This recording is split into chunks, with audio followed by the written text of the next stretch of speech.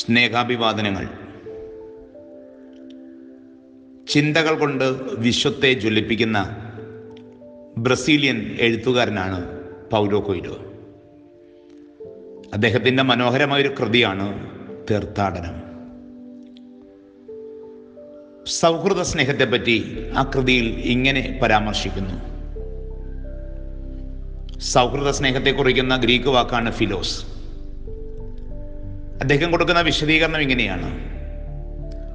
കാമത്തിന്റെ ജ്വാല കെട്ടടങ്ങുമ്പോൾ ദമ്പതിമാരെ ഒരുമിച്ച് നിർത്തുന്ന സ്നേഹമാണ് ഫിലോസ്.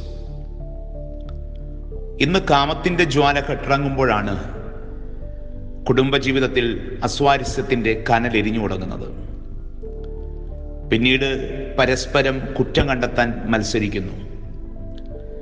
പതുക്കെ പതുക്കെ അവർ അകലുന്നു.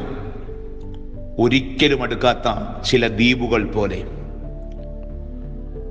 കുടുംബ കോടതികൾക്ക് അവരെ ഒരുമിച്ച് നിർത്താൻ കഴിയാതെ വരുമ്പോൾ ന്യായത്തിന്റെ ഇഴപിരിച്ച് അവരെ വേർപിരിയാൻ വിടുന്നു. ഇങ്ങനെ വേർപിരിയുന്ന ദമ്പതിമാർക്കിടയിൽ നഷ്ടമാകുന്ന ഒരു ഊർജമുണ്ട് ആ ഊർജത്തിന്റെ പേരാണ് ഫിലോസ്.